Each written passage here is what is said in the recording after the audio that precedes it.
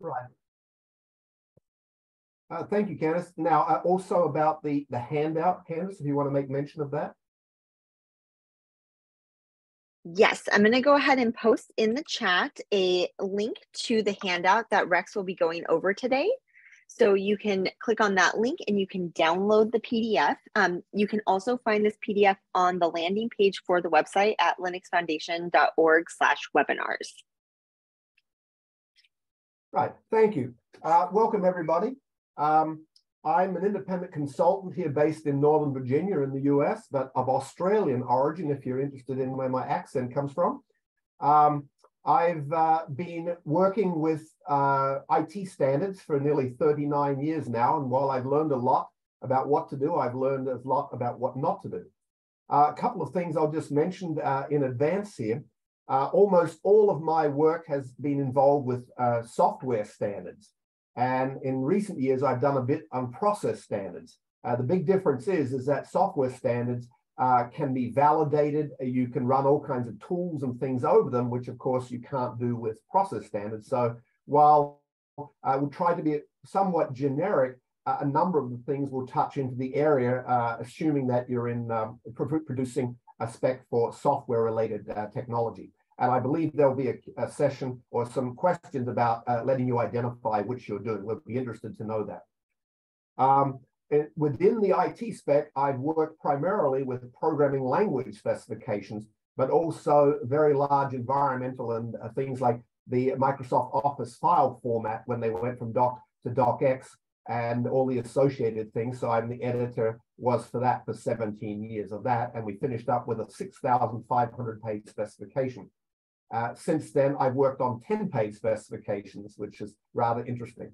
So let's uh, click off now and see, look at the table of contents. Uh, you're seeing here a crude slide in a Word file that exactly mimics the handout you can download. So uh, pretty much everything I say will be touched on in the actual text. So no need to make copious notes. If I talk something extra, I would generally suggest uh, this is new and you could make a note about that.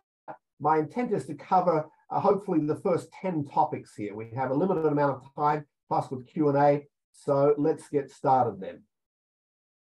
So firstly, we're talking about producing a formal specification. And the audience for such a thing uh, is there are three different kinds of reader. Firstly, people who are going to implement the, the uh, build an implementation or create a process. Clearly, they need to know what it is they're trying to build and what the constraints and rules are it's possible that somebody will be building some sort of a, a test suite or a checklist uh, that uh, can be used against it. And in that sense, um, an implementation does what they think should be done. The test suite checks that they did it, but the test suite might find errors or problems in the implementation, and the two sort of sides feed off each other. We'll talk a little bit more about the test suite later. And then finally, the users of the tools or process that want to be able to learn about what is the goal of this process, what's included and what's not included, and what are the implications of moving the process or tool from one environment to another. For example, in a programming language environment, you might say, well, uh, I've got all of this Java code. What will happen if I move it from this environment, from Linux over to Windows or such? Um, and uh, you have to go look at the spec to see what they say about what's guaranteed versus what might depend on a platform. And we'll talk more about terminology later. So that's basically uh, our audience. We're writing it for uh, those three possibilities, the first and the third bullet, possibly the second. Certainly, even if there's no formal test suite, uh, people uh, will be writing their own tests in general. So the lesson to learn here then is uh, write a clear and concise charter for the formalization effort. What are the goals? And just as importantly, the non goals, and separate the wouldn't it be nice to thoughts. I cannot emphasize that enough. Uh, and I've written widely over the years on my blog about romantic aspects of things. That is, the reality versus the romantic. Wouldn't it be nice if, and the dreamy stuff. If you're doing a non-trivial specification in terms of size or complexity involving companies or competition in the marketplace, you'll fairly quickly figure out you need to pin some things down about the scope of the project and how far you're willing to go and what sort of budget that may be involved. Uh, in my case, I'm a paid project editor uh, for large projects and um, and these kinds of things. So when you're when you're paying editorial staff to manage and maintain things, you're pretty quickly talking in the tens of thousands of dollars for a various kind of support model of these kind of things. So uh, write down what it is you're trying to do, get some consensus, and and separate and prioritize uh, the necessary versus wouldn't it be nice. Um, so do we have any questions, ladies, and uh, anything to do with number one? No questions at this point, Rex. All right, good. So now let's get into what's the starting point. Uh, most, maybe many or most projects start with a person or a small group doing a project, a research or a proprietary project that eventually even starts shipping. And once things become popular and word gets out, then there's some interest uh, outside of the original involvement, either in the same organization for other projects or outside organizations. And so um, that's what I term about consolidating prior art. If you get some interest at that point to say, oh, let's try to uh, make this more formal and handle a bunch of questions and dark corners. And so uh, the consolidation of prior art basically says, let's take all the information that exists and try to pull together a common specification that involves and tries to consider uh, pretty much all of those particular groups. Um, the important thing is, is that can easily involve breaking existing implementations. So there are there may be uh, uh, business forces involved. Uh, for example, when I started in 1984 on the C language uh, standard, there was something like uh, 50 to 100 vendors, mainstream vendors of C compilers out there, um, many of which had done things in slightly different ways based on there being incomplete specifications or it was not specified. And so being involved in compromise, and it could be business, a serious business to, you know, how dare you break my implementation on which I have a thousand customers and tell me it's broken? Uh, how can you accommodate me and things like that? So um, basically, um, that's, I think, the most common scenario, but again, it comes with its cost. The design by committee is that you've got a good idea, but it hasn't actually been implemented yet. Basically, you've got a, a proof of, um, um, uh, concept, but you've decided to do that. That's less likely used in the software industry I'm aware of one project, and that was the Ada programming language, which was designed by committee to start with. And as you can imagine, uh, that's a whole different process involving lots of different dynamics. And the good news for that is you're starting with a blank slate uh, and you can do anything. The bad news is you have to do everything because you don't really have any sort of guidelines. I've worked in both of those in some sense. The first one mostly because I'm consolidating on prior art by a widespread group of, um, of vendors and things. I've also had it from a, just from a single vendor. In the case of the C sharp programming language, there was an internal spec, but it was basically entirely for Microsoft's internal consumption. And my job was to now make that applicable uh, to the world at large. And I, 23 years later, I continue in that role. PHP, which the language in which Facebook was originally written in, has never had a formal specification. And when I was invited to write one, again, I had to deal with several disparate uh, kind of audiences out there and implementations and a lot of things that had never been specified. Um, so that's the starting point to know exactly where you're coming from, and that will set the tone on the kind of organization you'll need to manage it, the kind of politics you'll have in terms of the compromise and such things. So very important. Questions, anything yet? All right. So now, number three, this may very well be uh, the biggest business decision you will make because this is a business decision. And so don't uh, fool yourself other than that. It'll grow and creep gradually. It'll take up time and, and resources. Firstly, uh, I'll just use the term Standards Development Organization, SDO, as a general term of something that publishes a formal specification. Yes, it could be ISO, it could be ANSI in the US, it could be the British Standards Institute, it could be OASIS Consortium or whatever.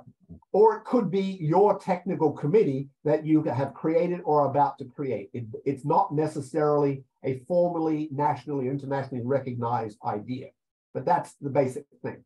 Now, it's interesting to note the procurement process of some organizations, such as the EU and federal and state governments, require certain products conform by accredited. So first of all, that suggests that you need to be publishing with an accredited, whatever that means, SDO, and they will have their own requirements as to what is involved in that. There will need to be some sort of a certification process as to say, yes, you do in fact comply, and there might involve some tooling for that. So that's an extra thing. But again, uh, it may very well be you don't have any of that, and it's simply an open source project that you're willing to share, and that's how things go. So in my case, the C Sharp spec is now an open source project the world can contribute. Uh, ultimately, we distill it into a, a PDF that is published through ECMA International as a standard development organization. So we basically have the, the, the best of both worlds. The process of producing it is very informal, but the actual process of publishing it is actually formal. And that's an important thing to keep in mind that maybe you could uh, take advantage of as well. So a technical committee then is the one that produces the formal specification. And as I said, the technical committee may very well be the SDO itself. Again, stress most importantly, get clear in your mind the needs versus wants, make lists of them and review them from time to time to keep reminding yourself why this is a want and not a need. And then maybe you'll change priorities and certain wants might become needs as uh, uh, things evolve and as marketplaces arise. Now, um, the one thing I said that uh, keep in mind, if you want to go with a, an SDO, then you need to decide that early on because some of them have large and complex sets of publishing requirements. And uh, the last thing you want to come to is to have a perfectly fine spec the industry knows and loves. And when you try to submit it to a, a recognized SDO, they require you to basically reformat the entire thing. Now, for a 10, 20, 50 page spec, that's not a big deal. But the 6,500 page spec that I was editor of for many years, when you were told that, um, my uh, approximations on what it would take to make it comply to the format was $100,000 plus of people time and proofing. And the end result would be technically no better, and we would probably introduce errors along the way. So certainly you want to know very early in the process before you commit to actually formatting your core spec into any particular uh, uh, manner as to where this thing is destined. And you might say, well, we're going to do it this way, and we hope to be able to delay the choice later on you can only delay it so far. For example, if you choose Word or you choose GitHub or some other tool, uh, how are you going to get things between one environment to the other? Most importantly, people join a technical committee for the technical challenge of what's gone, not for the formatting and the administration. And they've proofed it and made all kinds of fixes. And the last thing they're going to do is when you say, oh, we've reformatted this now with tools, could you proof this to make sure we got it right? That is not something they're going to want to do and so all kinds of interesting editorial errors that could be introduced in the transposition process can uh, go into the published version. So will you be bound by a particular set of rules? It's either yes or no. Once you make the decision, you should expect to be locked into it forever. And even if you don't, you're not locked into it, it's okay to know what some of the groups require out there and borrow various aspects, as some can make sense. Indeed, all of the standards that I've used that are outside of, say, a formal SDO have borrowed heavily on what I think are good ideas from some of those organizations. They're just not requirements. And so in the handout, you will have a URL, although it's interesting here because, uh, yes, so if you've got the electronic handout, these are all hyperlinks, and you can go to the ISO directives, uh, which uh, talk about how to prepare something along with the style guide, which is above and beyond the, the actual requirements. And off the top of my head, those two combined is something like 100 plus pages. So it's not a light commitment to say go the ISO route. And you would have to understand what you're getting into again before you commit to very much formatting so you don't go down the wrong path. Now, this particular seminar is generic in that we're not going to talk about ISO specifics in general, but uh, there is a possibility we might offer such a follow-on one specifically for ISO. And in the polling, you should indicate interest if you wish to know more about that. Rex, we have a really great question from Christopher Punches, which is how do you differentiate between the want and need in the in the process? And I, I think there's two components to that want and need in terms of the right. technical scope and want and need in terms of whether yes. to take a project right. to well, SDO. Several things. Firstly, they can change. I find that every three to six months, I'm a different person in terms of my wants and needs for my business and other life experiences. So I can maintain a list and I review it on a regular basis to see if circumstances change in reality or my thinking changes. Secondly, if you're in a small group or you're starting out as a single person or several people, get a core group of people to talk about these kinds of issues and certainly you want people who don't necessarily agree with you. You don't want yes people to say, yeah, that's a great idea. You need them to stand up and say, push back, no, that isn't a good idea. And, and the more, you know, the, the list of needs you see grows, you need to then factor in what is the needs, the complexity of the technical committee you'll need and the resources. My boss says I can do this for 5% of my time, but now it's going to take 10 or 15%.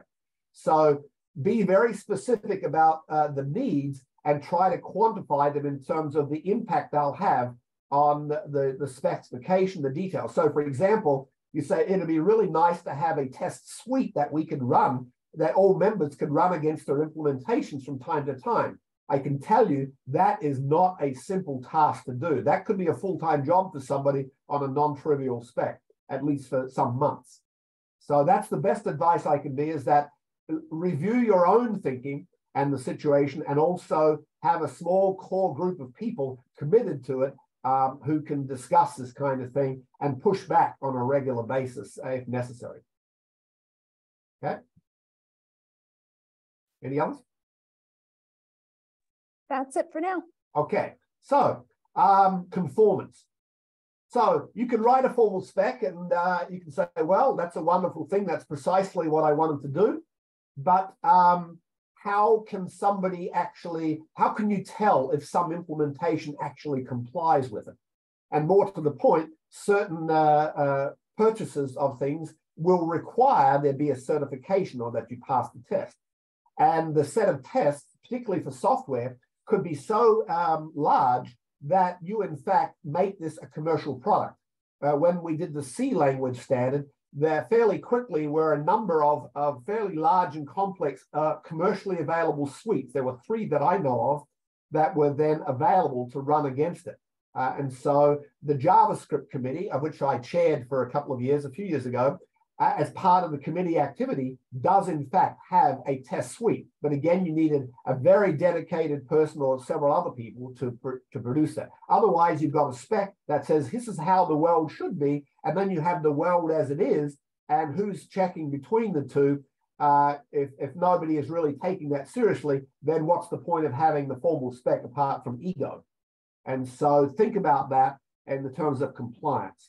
And we talk about the um, degree to which an implementation uh, agrees. So uh, the idea is that if you put out a new version of a specification, say version three, the world is still on version two, and some of them might be on version one, and they aren't going to immediately comply with three, and they might not for a year or two. So anybody requiring compliance uh, says, well, we can't expect that they you have version three yet for a certain amount of time.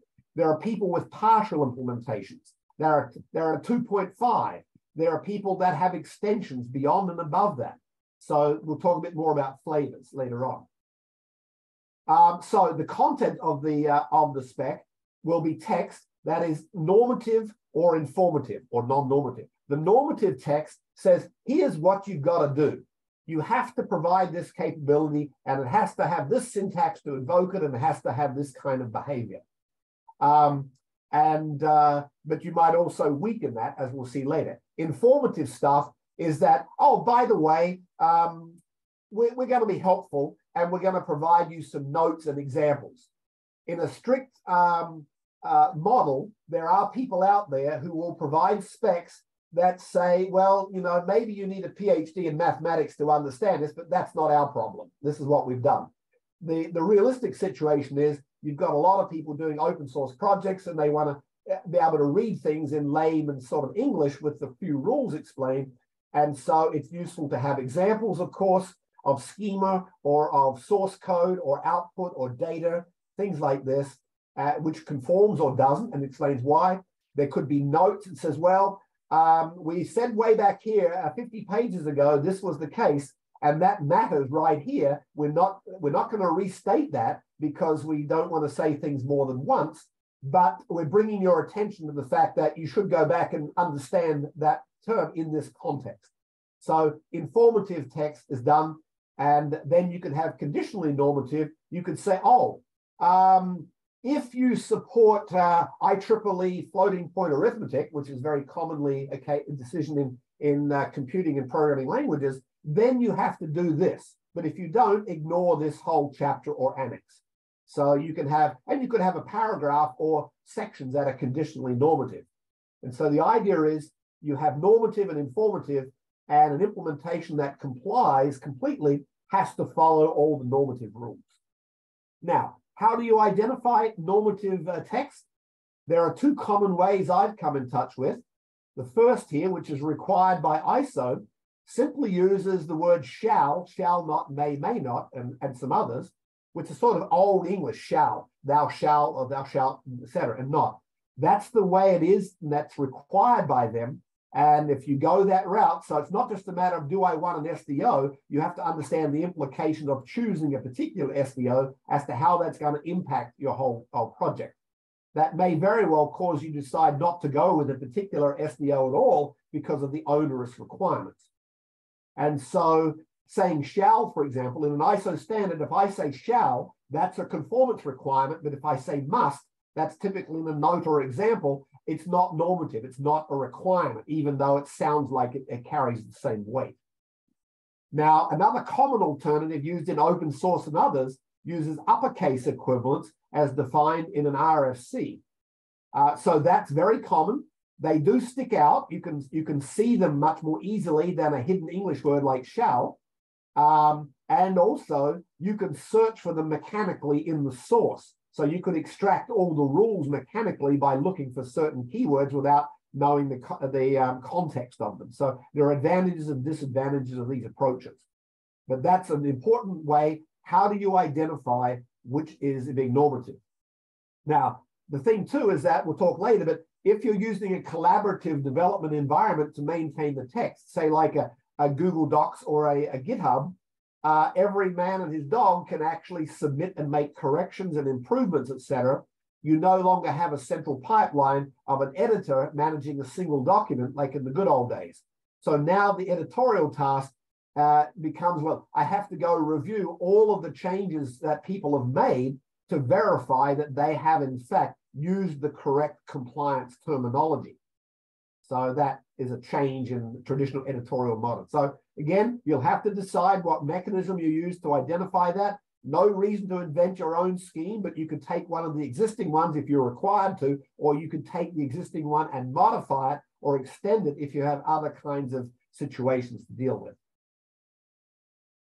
Right, now ideally, all requirements of the spec are absolute with regards to reproducible behavior. You do this, and this is what comes out the other end uh, and you must not do this. That's in fact not allowed. And so it seems a no brainer that it should be absolute in the ideal case. However, it's a widespread practice to have a number of flavors of behavior.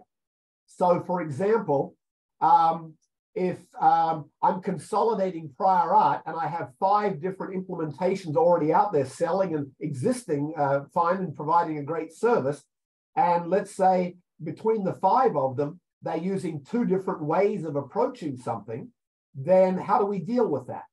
You can you force uh, three of them to change to the other two or vice versa? That obviously gets a lot of people upset and, and breaking their stuff.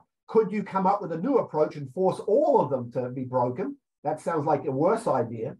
You could also say, we're going to make the implementation define, uh, the behavior implementation define, which says the spec places no requirements on what you in fact have to do. You have to not break the world, it has to succeed, but the vendor has to document in their own documentation as to what the behavior is. Clearly, if you are a user wanting to move from one environment to the other, then you need to look for those kinds of flags because that's the stuff that can change when you go from, say, a, a Macintosh to a Windows to a Linux type windowing environment, for example. You have locale specific things. So if I key in a name, somebody's family name, and I have that converted to upper or lower case or title case, um, I, you know, am I handling a non-USA English letters? And so certainly the behavior of certain things is locale specific, and we'll talk briefly about locales a little bit later. They could be undefined or unspecified. This gets right outside of reproducible behavior. If you do this, all bets are off. We have nothing to say about that. So uh, again, you have to understand uh, which ones you know you want to have and be prepared to add others. If you come in saying it's always going to be absolute, that's an interesting rule, and you need to then revisit that from time to time. Now, deprecation. So time goes on, and you find that there's a better way of doing something than you had. And so you would like to provide a replacement. Now, it's bad style in a spec to, in a new edition to say, okay, uh, we've rewritten the Old Testament here, and this is what you've got to do, because that's going to break everybody. And if you give them one revision's worth of notice, that would be good industry standard. It could be a year or 6, 12, 18 months. We're going, we're giving you now a new way of doing this, and we feel so strongly about it that we're going to deprecate the previous way of doing it. And we may very well remove that from a future version of the spec. Now, most often that doesn't happen. It stays there as a recommended against historical artifact, but you'll still find software or implementations out there using it forever. And indeed, there have been rare cases where a committee dropped something and was sued into a very onerous, long-term, drawn-out thing to say you've broken something that's working in the insurance industry around the world for years, and you have no right to do that. So just think about deprecation you have the ability, better to get it right first time, but right is subjective as time goes by when new techniques are available, or you find the old decision was inadvisable for some particular reason. And then this is something not in the handout, but I've already talked a little bit about. Will you develop a conformance test suite if you're software based? Because that's uh, and make it available to the world at large and to implementers um, so that uh, you know, that's the thing. But again, that is a non-trivial commitment. So questions about conformance or anything up to this point?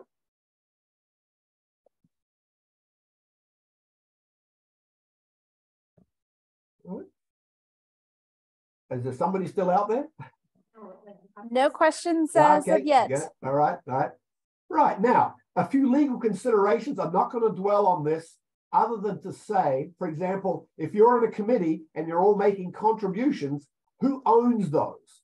And things like this. So, some fundamental things there. Importantly, have at least one person in your group uh, in the TC who's interested in this stuff and uh, to learn about what the potential issues are. And depending if you're using a form, an existing SDO, they will already have requirements about non-discriminatory and royalty-free such things and whatever, and copyrights and trademarks and whatever. So again, most TC participants are there for the technical sort of challenges, not for the administrative or legal. So make sure you that you don't want to get waylaid. Um, we had a, an early stage of a stand I was in, a person uh, felt slighted that we hadn't handled his comments on early ballots. And uh, he took it to his US congressman who tried to then raise it through uh, ANSI within the US. So again, all kinds of interesting adventures in my 39 years. So nothing that I want to raise there, and I, I don't know that field, so I can't possibly answer any questions about it. But I think there are people in LF and Seth and others can be brought to bear and, and possibly follow up webinars about some of these issues. Um, on on yeah. the legal considerations, um, Rex, I think it's also worth calling out how important that scope that you mentioned at the top of the, the workshop here uh, is to understanding the legal considerations here. When you define that project scope, that really does become a bounding box for how that final output might be used and what licenses to the underlying intellectual property are going to be applied. Right. So uh, these two things are very well connected. I. We also did get a, a question uh, yep. here in the Q&A does a mathematically formal way to write a spec exist or do you know of any efforts that um, are, are, presently underway for writing right. uh, uh, yeah. perhaps hold that thought until we get down and talk about grammars and validation that might uh, open up uh, answer some of that and then we can revisit if there are still other questions but uh, yes there are there are there are standards on on formal specification syntax um, and uh, BNF, Backus Naur format and extended BNF, eBNF. But uh, if we can put that one on hold. Okay, um, specification packaging. Okay, so you're ready now to start writing something. How do you organize it?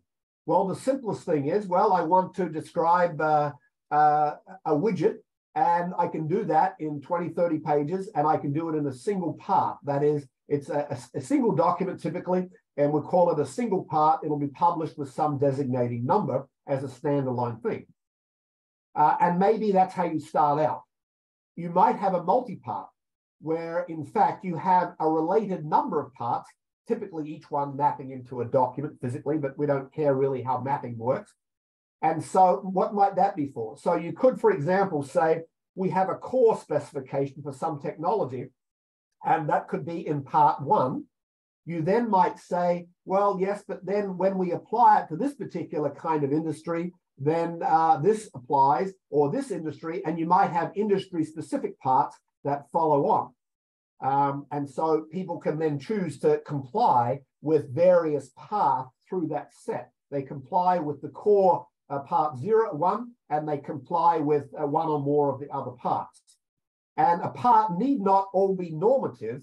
You could, in fact, have a whole part that was nothing more than a tutorial, um, test cases, statistics, research, white papers, whatever you want.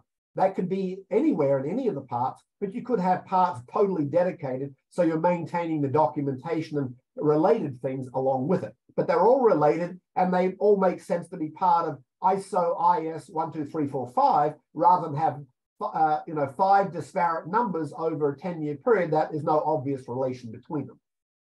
And so, so that's not uncommon for, for non-trivial size ones. Uh, the 6,500 page spec I worked on for 17 years had in fact four parts, although it could easily have been broken into probably 10 or 12. Um, multiple separate specifications which are unrelated or not closely related. Now, you could change between this. You could start out with option one and later on realize you want to add more and you change to a multi-part, presuming again your SDO supports that, has some way to deal with that. Again, that's useful to know up front. Even if you don't think you need part two or three, nice to know what your options are when you make commitments. And then three, again, you may or may not need that. So again, consider how it might be mapped into the editing platform. So again, uh, lots of things are interrelated uh, here, and you really want to do the homework and read this whole thing and consider it in detail before you commit down a path, because then uh, changing may be uh, quite difficult. So, is your specification likely to grow with respect to the number of components? Will you have optional components? Will each of those, you know, go into a part so that conformance you can actually comply by providing 10 of the 100 optional parts um, the components and not all of them. How will a revision of one component impact the others? If you've got everything in one basket, then anything you change from an editorial change to adding a feature will require balloting, review, and revision of that whole thing. Whereas if it's multi-part, only one of the parts that the parts that are affected need in fact be changed. So think of the modularity there in terms of the administrative impact of maintaining this kind of thing. You could also, on a multi-part or multi-specification, you could have different technical committees or subgroups within a larger committee working on each of those. So again, they're asynchronous. They can meet separately, different time zones, whatever. Uh, and so that's very important to do that. So you don't have the whole committee dealing with every little thing. You can also break the committee up. For example, as Jory knows, she and I served on ECMA TC39 JavaScript. They used to be all in one, and now they've broken into a parent committee that handles business and core stuff, and they now have task groups one, two, and three below them, which are somewhat autonomous and deal with specific components of the technology outside of the core stuff. So again, think about that short and long term. As you can see that some of these things take way out of the realm of a, a backyard project that you're thinking, this sounds like a good idea. Okay, any more questions? We have a question on um, conformance using test cases. Uh, so this is, can you elaborate on how conformance using test cases could look like? I am writing a spec for a GUI program used by a small company. Right. Um, I, in the C sharp, where I'm the only thing I've really spent time with, we've developed our own tools. So we're using GitHub, and inside of the actual uh, spec itself, we have HTML comments, which of course you can put anything in there. But the syntax we put in there actually complies with JSON, JSON notation, just because we chose to be. And so we have a tool that says, oh, when you run into one of these, uh, you can go in and extract the actual all the contents of the code block that follows, and you can go off and then actually, excuse me, I'm getting yeah, uh, no, I'm getting ahead of myself. We do that for grammar, so that when you get to grammar, uh, it actually validates the grammar. But we also do it for the for all the examples of source code in there. We extract it and then have third-party tools outside do that. We'll talk a bit more about that a bit further if I can defer that one under that one. All right. Any other questions? So now, so we're going to write some words, but what format will it be in? If you go with an SDO that has more than a few rules, they're going to dictate that. But here's my 10 cents worth of 39 years of writing under those rules. Uh, and it's in bold. Uh, the shape and format of a specification should be determined as much as possible by the committee producing it. After all, one presumes they know their subject matter best and its audience, and they have more than a little idea of what the industry needs, wants, and will tolerate. Being told that you have to, in fact, format your section headers precisely this way by, say, ISO doesn't impact the utility and correctness of the spec. And I, I, for one, push back at every one of those things that I say are busy work. In the idea, if the SDO has a whole division dedicated to maintaining what documents should look like, to me, that's that's that that's a solution looking for a problem, and it's just way too onerous. And so um, you need to think entirely about that as to are you being forced into an approach that doesn't fit what you think is the best model for your thing. And again, that can have impact on the way you go. So I'm a, now a, uh, a convert to collaborative platforms. And while it changes the editing model, where the editor used to be the, the bottleneck and could do everything and, and control what went into the spec, that is no longer the case, but the editor now has to go review it. But the idea that a member of the committee or a member of the public in an open project could go online at two o'clock in the morning, Tasmanian, Australian time, and say, Oh, I found a typo, or this doesn't look right, they've missed something here, and actually make a proposed fix right there in real time is a fantastic thing as long as you monitor that activity and they it's a tentative thing until it's reviewed appropriately. That will cut down on the editor's administration and the frustration of participants no end because they see a problem and they can do something about it. Rather than reporting it as an issue and trying to explain it and letting somebody else take up and apply it, basically put your money where your mouth is and tell us the solution and hopefully actually apply it. And we'll get back to you whether we think that's acceptable. So I, I can't understate that importance and allow the organization and form to be as lightweight as possible. Certainly, if you go GitHub, that's lightweight by design. It's frustratingly lightweight because you say, oh, darn, I want to underline something and there's no way to do that. Or I want more out of tables than I can actually get. And we can talk a bit more about that later. But uh, the intent to be as lightweight as possible, I think, is good. Maybe you can have other tools to render that can add certain things. And so again, allow the organization maximum flexibility in deciding styles, fonts. ISO tells you that anything in a constant width font has to be Courier New. And uh, it's very hard to find modern publishing people in the world who think Courier New is a, is a pleasant font to look at versus uh, something else. And so, and whether you, what bullets, what symbols you use for numbering, all of these things could be dictated to you that you don't care for.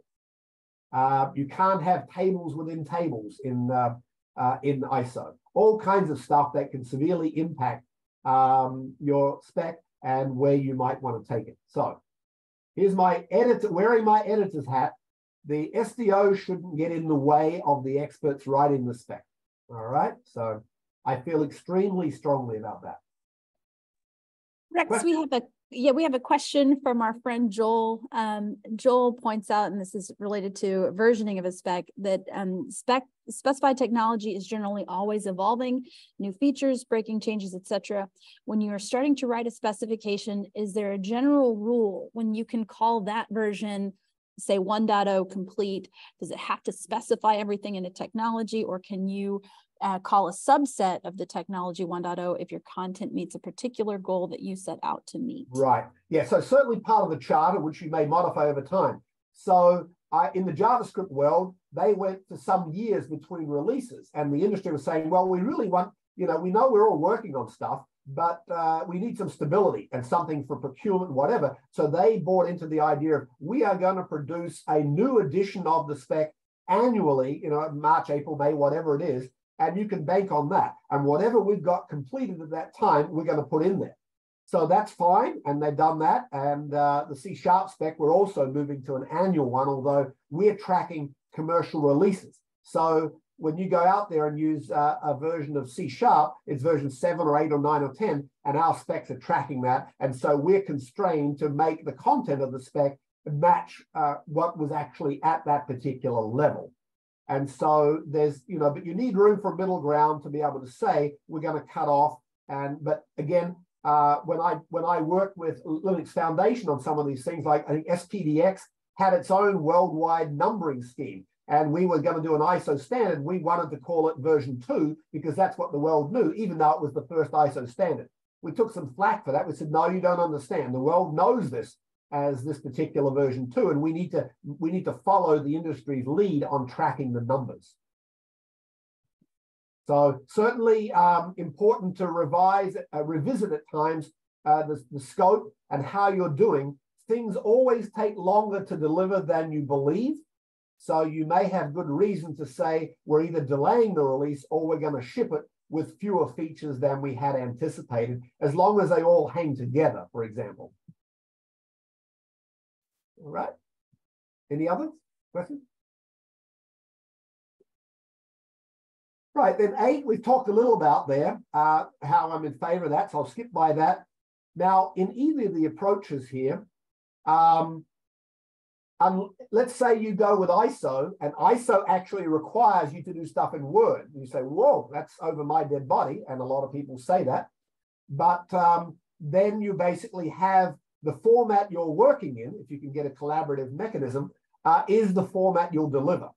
But it's entirely possible that you will be uh, in some other environment where you will maintain the source of the spec in one format, and you might have to, or you might have to, or you might choose to render it in another format, uh, like Word or PDF or, or, HTML, of course, could come out of Markdown with some table of contents and things like that. Uh, and so you want to then understand what tools will be might be involved in doing that. For example, as I said, uh, it, I, if you want to have tables more than what uh, GitHub can do, or more than something, then you have to put in raw HTML. Now, any tool that converts your GitHub uh, markdown into something else now has to understand all of those kinds of exceptions and deal with it. And Pandoc and various other things will not know how to deal with it. So uh, you, you need to look at what tools might I need to help me either to publish the spec or to verify and do certain kinds of checking in that spec. And let's move on because that the next one will comes into part of that as well with the tooling. So now, if you're dealing with a programming language, then you clearly have to state the syntax of each particular kind of statement or form and these kind of things. And you can use a formal grammar notation or you can describe it in narrative. Now, the earlier question was about, is there a formal way to write things?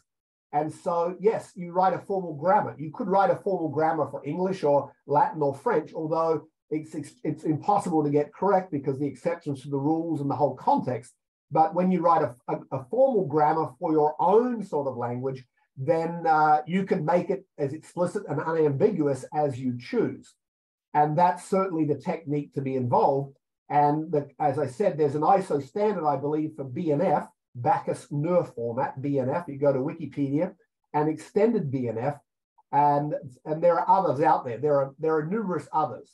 And uh, in the C sharp world, we have switched to now um, uh, ANTLR, A-N-T-L-R.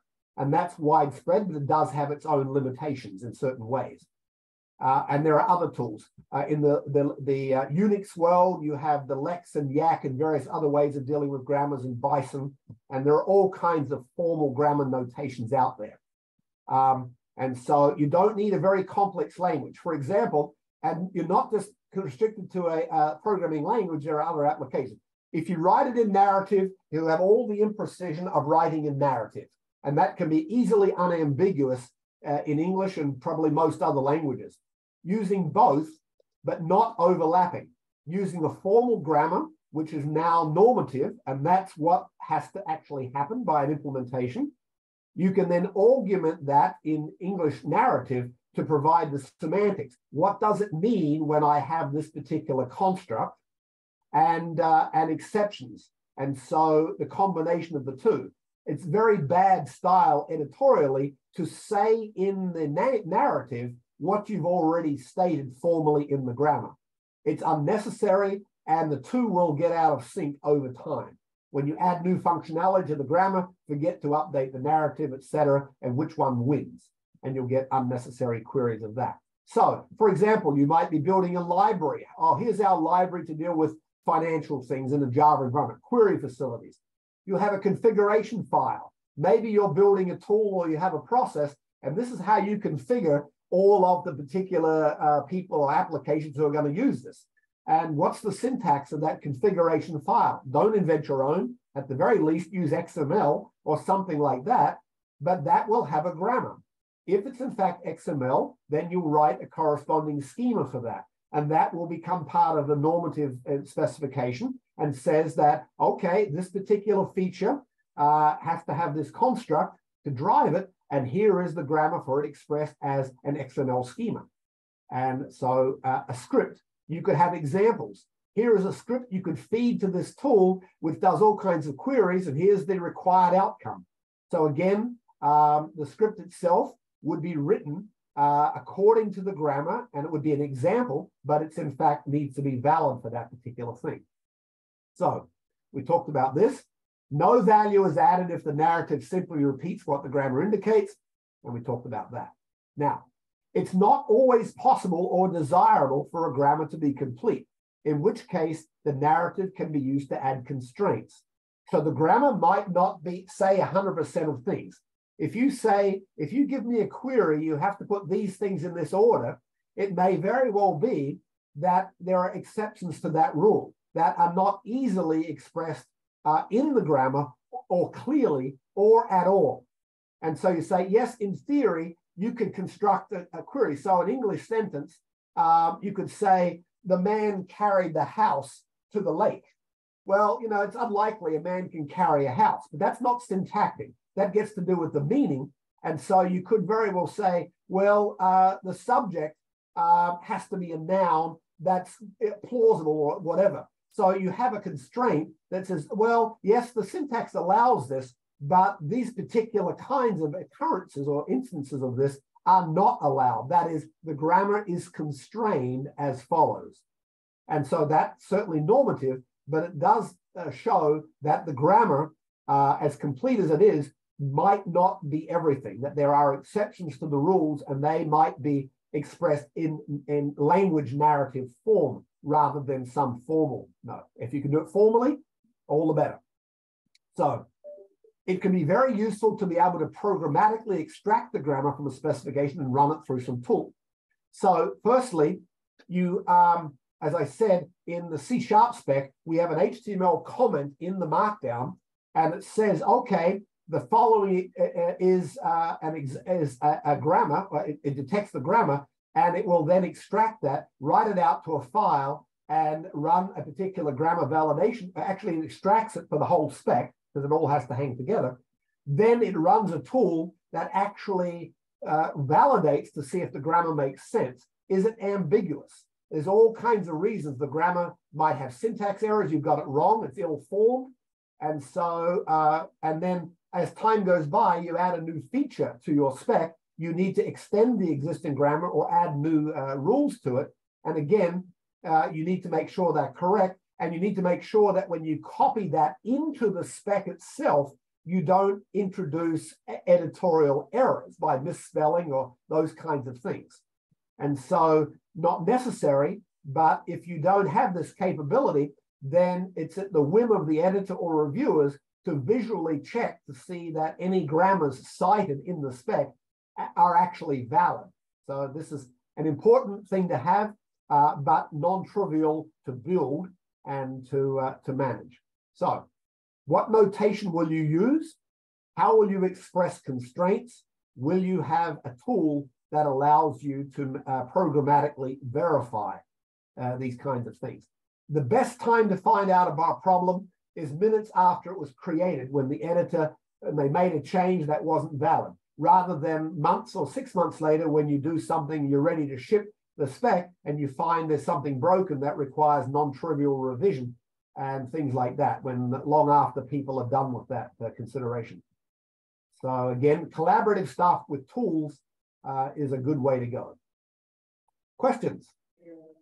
We've got one that's uh, related to a different kind of grammar, um, and that is, is the Oxford comma allowed in specification writing? I think this is a, a great question to kind of speak to that editorial narrative um, points you were making, Rex.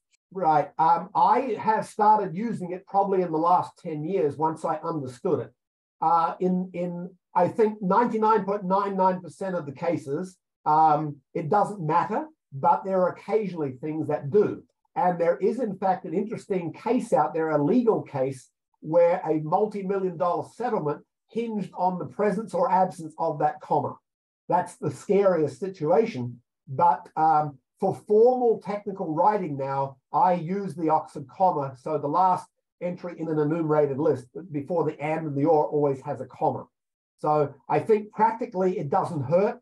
Uh, again, whatever approach you use will be in your editor's guidelines, and, and when you're reviewing contributions by others, you have to go through and make sure that is the case. But uh, I think it doesn't hurt. And there are theoretical and maybe practical cases of it might help. Like you're required to have A and B or C, you know, and things in the precedence ordering and how that works in terms of English. And so again, the Oxford comma and notes or some notation that you explain early on uh, helps to understand potentially ambiguous situations. Any others? That's so, it. We've got about five minutes left. Right. We're a little late, but we're having good Q&A. So the last thing I want to cover was 10, which is essentially the same thing as the grammar. So if you've got fragments, well, we said the grammar would include things like XML uh, schema, for example. Uh, but if you've got examples of data and code uh, or configuration files or whatever, and you put them in the spec, it would be really nice to know that they are syntactically correct and they actually produce the data you say, or that this is the data that results from some particular situation.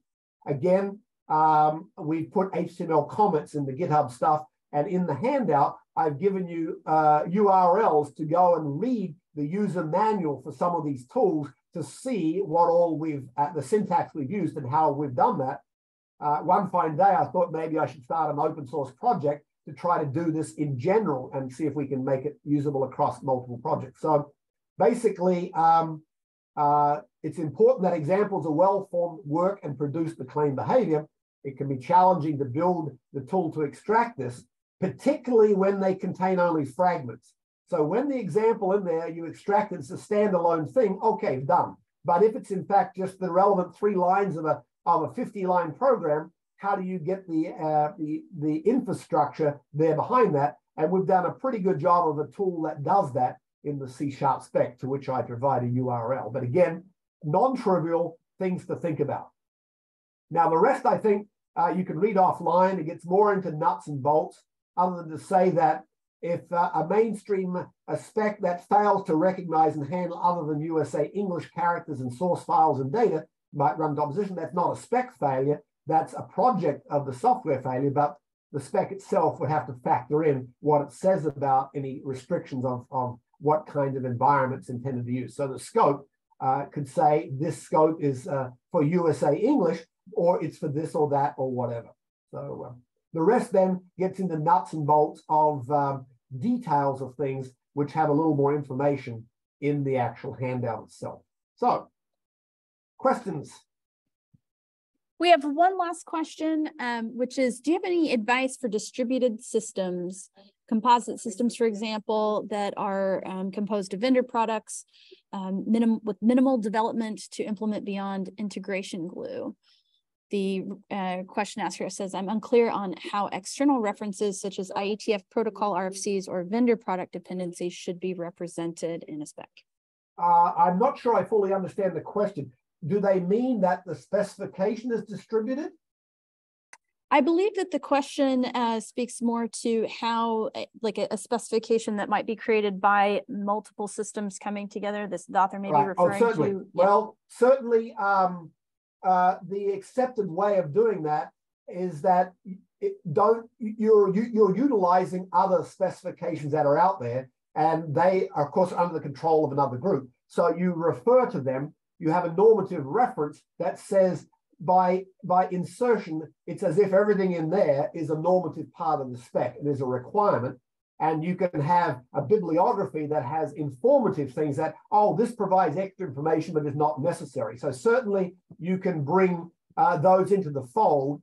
And um, uh, certain SDOs require that you get permission from those referred to places so they know you're referring to them. And the most important thing is, is that when you refer to other specifications, whether you choose to make them dated or undated references. If you say we're referring to Unicode or to some IE, uh, I, uh, uh, IEEE or IETF, then is it this particular year? If you say a year, then the world knows that your version of this spec is dependent up to that point and doesn't rely on anything that's evolved since then in the dependent upon specs. And then you'll have, if they if they uh, modify their spec, then you will need to monitor that and decide whether or not you need to modify yours to take account of new requirements and changes in behavior. Maybe they've deprecated some facilities. Alternatively, if you have a dated reference to it, excuse me, undated, then you're always pointing to the latest one. The good news is you're always pointing to the latest. The bad news is you might not know there's an even later one that has requirements that don't agree with what you're actually promising or that will require some fine tuning. So um, leverage on all the others. Everybody out there is writing specs, official or unofficial, and um, and take full advantage as you can. But you need to then monitor what they are doing and probably create an informal, if not formal, liaison uh, between your committee and their committee, so that you're each obligated to notify the other when you make uh, decisions that might adversely affect what they're doing or could, impl- uh, could uh, impact what they're doing. That would just simply be a courtesy. Uh, one other thing that when we talk about distributed, um, I, I've worked on a project in the last year or two that's a web-based standard. That is, it doesn't look like a single document. That certainly is the way most of us deal with things these days. It doesn't fit the model of, uh, say, ISO, or even ECMA International. I'm not sure about OASIS. So again, if you would like your stat, your spec to be published basically as an HTML sort of table of contents front end to uh, GitHub, then go for it. But again, that's not going to be acceptable by a lot of the mainstream international and national standard development organizations. Yet it is the way a lot of us do stuff. And it also can minimize the way, you know, the world has long since stopped thinking uh, of uh, text as a paginated fixed size uh, you know, A4 or US size page. And so again, that should be a factor in, um, uh, in this decision making. So again, last chance at questions.